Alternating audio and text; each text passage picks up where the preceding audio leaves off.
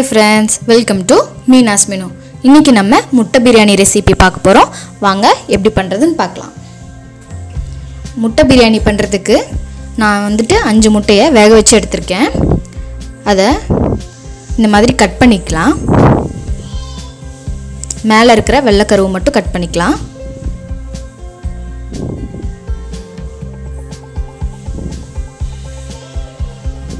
இதே மாதிரி நம்ம எல்லா முட்டையும் கட் பண்ணி வச்சுக்கலாம்.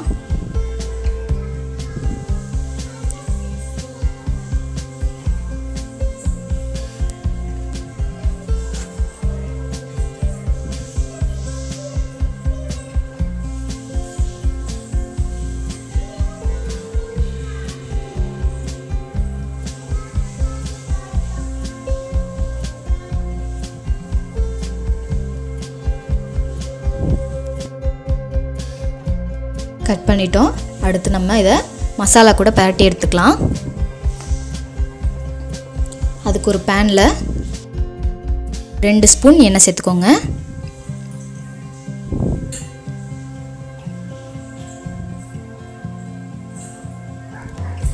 எண்ணெய் சூடானதும் கால் டீஸ்பூன் மஞ்சத்தூள் சேர்த்துக்கலாம். அப்புறம் கால் டீஸ்பூன் மிளகாத்தூள் தேவையான அளவு உப்பு சேர்த்துக்கலாம்.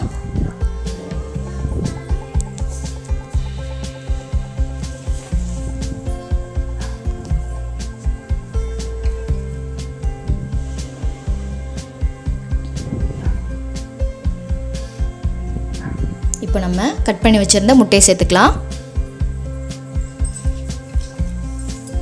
சேர்த்துட்டு நல்லா பரட்டிடுங்க.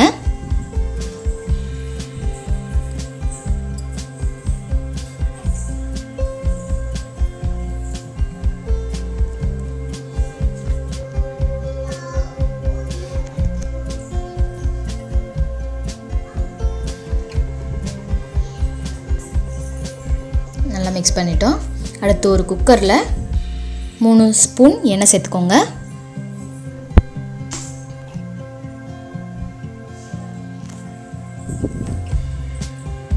எண்ணெய் சூடானதும் ரெண்டு ஏலக்காய் ரெண்டு பட்டை மூணு கிராம்பு ஒரு அன்னாச்சிப்பூ கொஞ்சமாக கல்பாசி அப்புறம் ரெண்டு பிரியாணி இலை அரை ஸ்பூன் சோம்பு சேர்த்துக்கலாம்.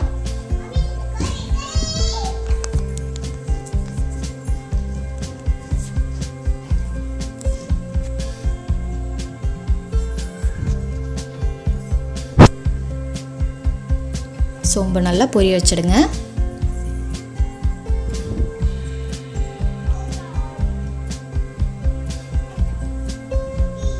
அடுத்து ஒரு பச்சை மிளகா சேர்த்துக்கலாம்.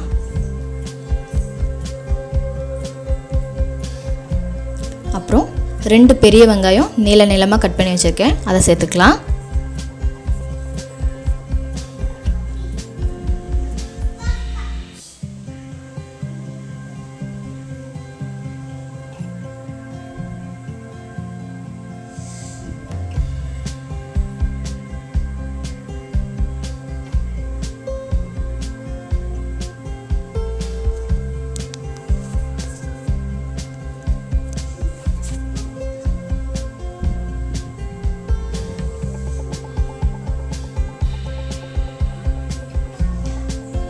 வெங்காயத்தை நல்லா வதக்கிக்கலாம்.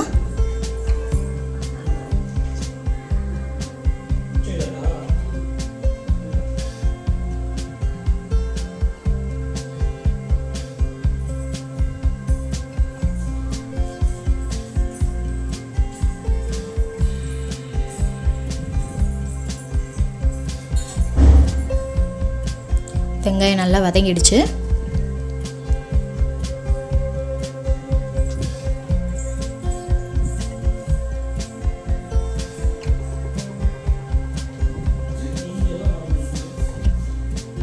இப்போ நம்ம ஒரு ஸ்பூன் இஞ்சி பூண்டு பேஸ்ட்டு சேர்த்துக்கலாம்.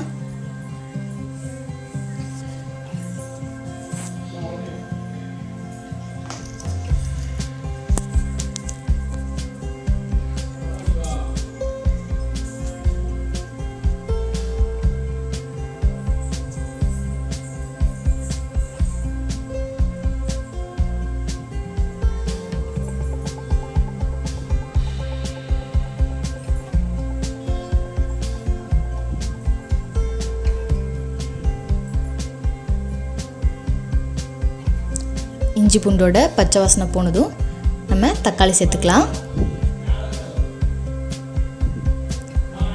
ரெண்டு தக்காளி கட் பண்ணி வச்சுருக்கேன் அதை சேர்த்துக்கலாம்.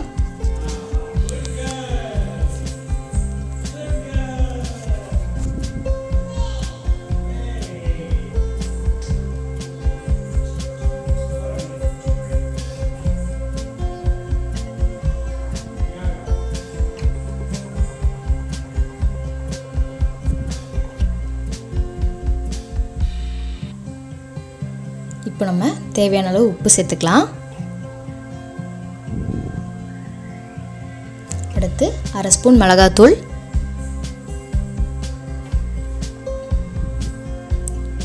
ஒரு ஸ்பூன் கரம் மசாலா.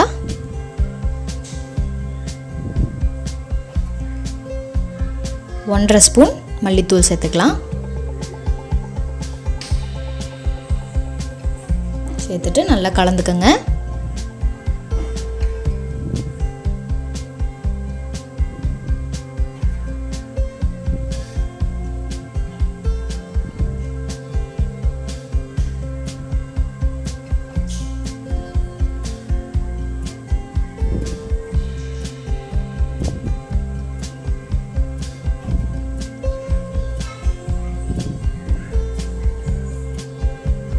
இப்போது கொஞ்சமாக தண்ணி சேர்த்துக்கலாம். தக்காளி மசாலாலாம் நல்லா வேகட்டும்.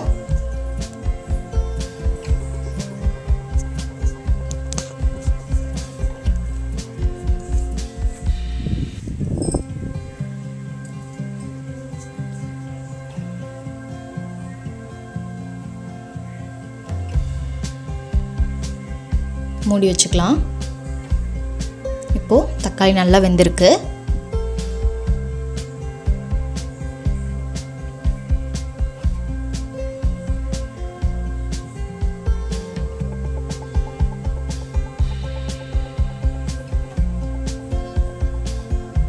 இப்போ கொஞ்சமாக புதினா கொத்தமல்லி சேர்த்துக்கலாம்.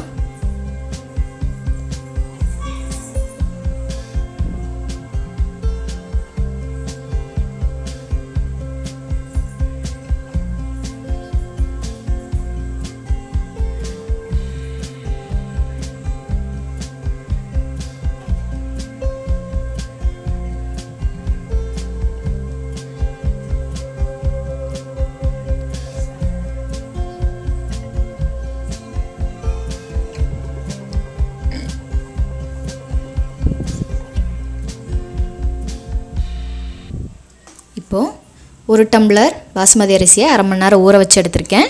அதை சேர்த்துக்கலாம். சேர்த்துட்டு நல்லா அந்த மசாலா கூட மிக்ஸ் பண்ணிக்கோங்க.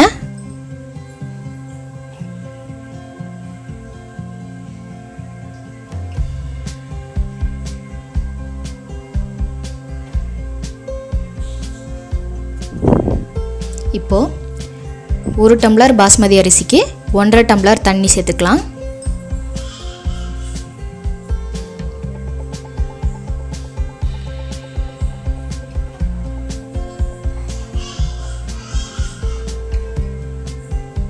தண்ணி சேர்த்துட்டு நல்லா கலந்துட்டு உப்பு செக் பண்ணிக்கோங்க.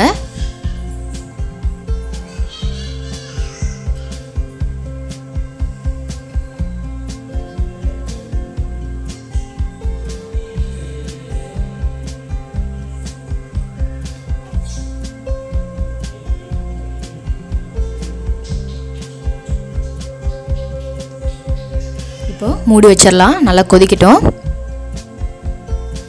பாருங்கள் கொதிச்சிட்ருக்கு.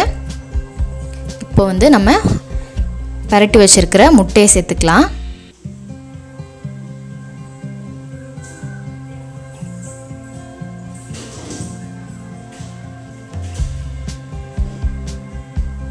இப்போது லைட்டாக கலந்துக்கோங்க.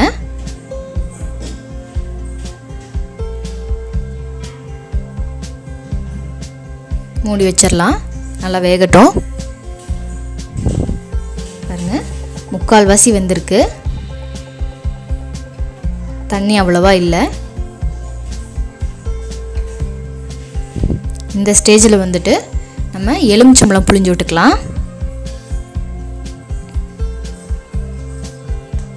அப்புறம் ரெண்டு ஸ்பூன் நெய் சேர்த்துக்கோங்க.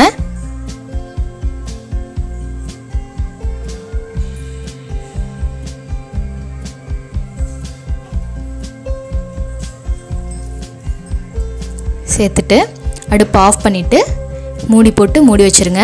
மேலே ஒரு வெயிட் தூக்கி வச்சுருங்க. இப்போ அடுப்பு ஆஃப் பண்ணிடலாம்.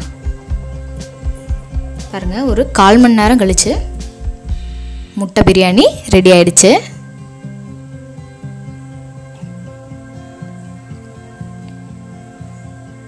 தண்ணிலாம் எதுவுமே இல்லை. நல்லா கரெக்டாக வந்திருக்கு.